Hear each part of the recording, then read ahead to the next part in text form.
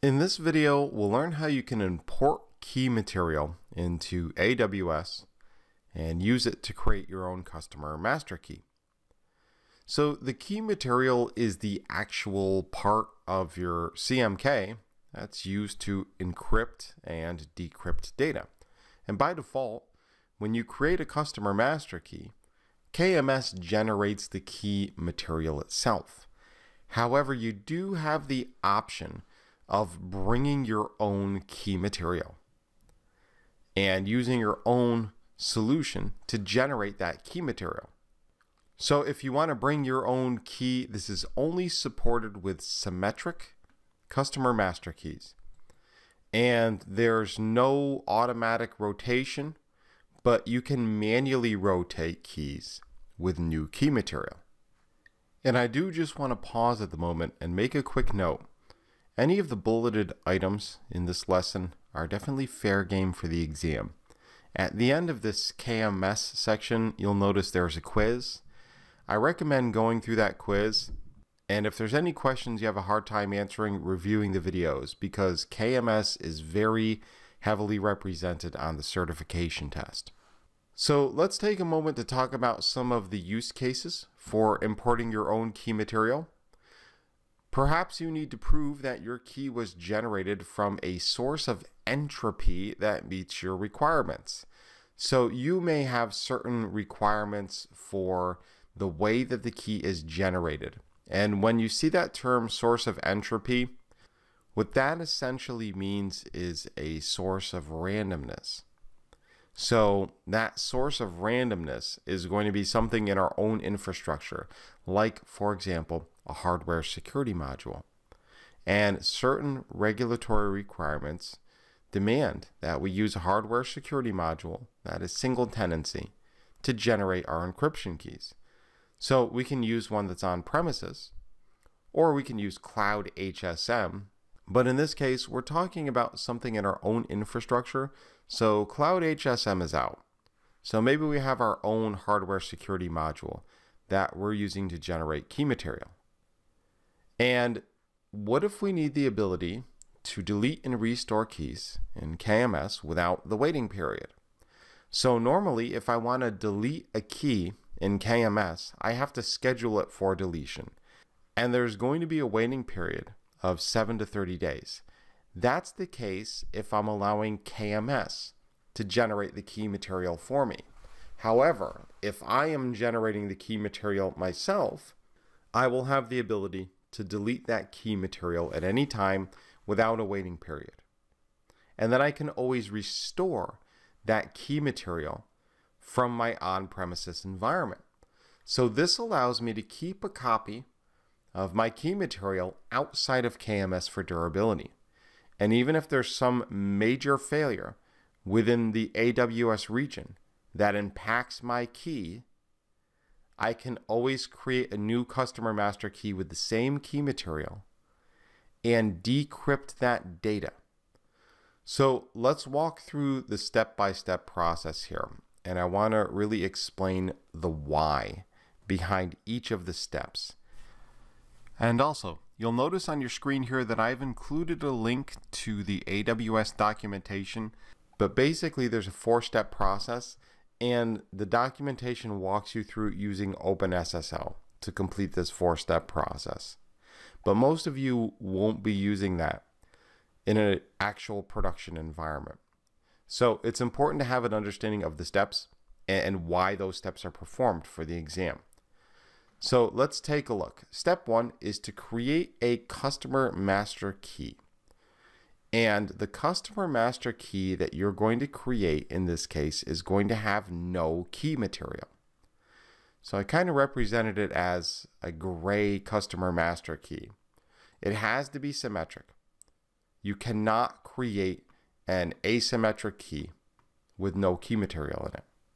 And when you're creating a customer master key, there's a few different options of key material origin.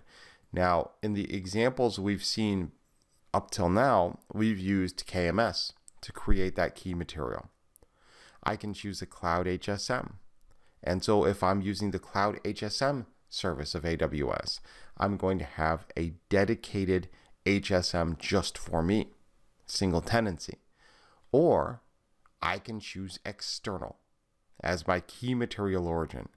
And that means that I am going to have to import the key material myself. I'm going to have to generate and import the key material myself.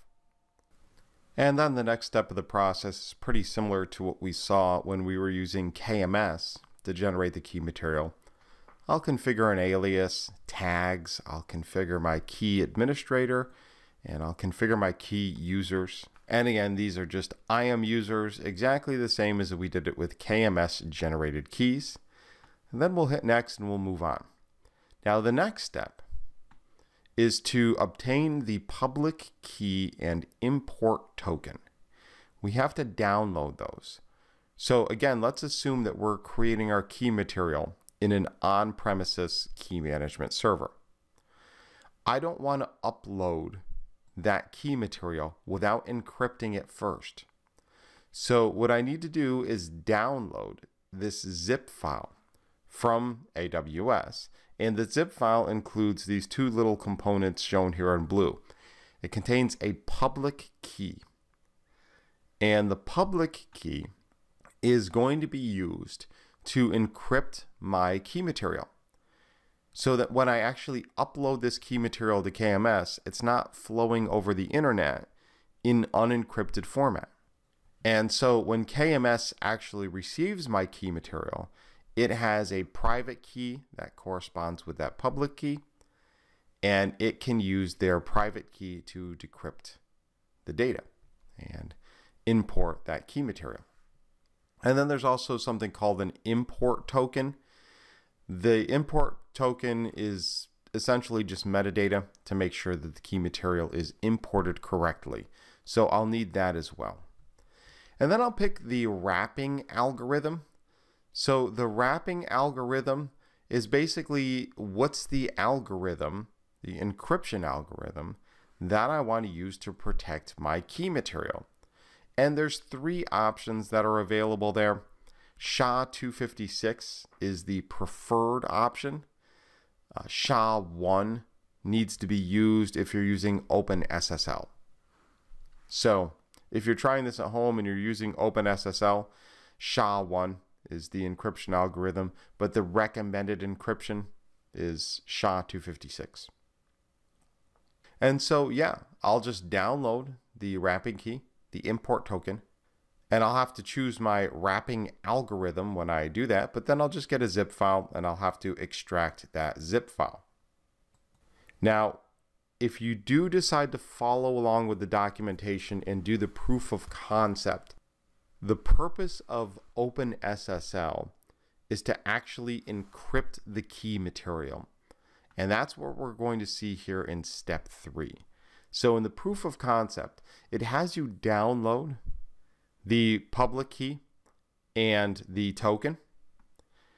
And now you have these two items, the public key and the token, that you're going to use to actually encrypt your key material. And so how are you going to actually do this in a production environment? Well, that depends on which KMS solution you're actually using. OpenSSL can be used to kind of test this out or try it out, but it's not recommended for production environments. A commercial HSM or KMS is recommended to actually encrypt the key material. So once we've got the key material encrypted, now it's time to actually import that key material into KMS. And that's step four of our process here. So now that our key material is successfully encrypted, it's time to import it into KMS.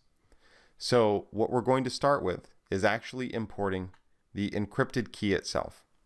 So here you can see the encrypted key has been migrated into AWS KMS.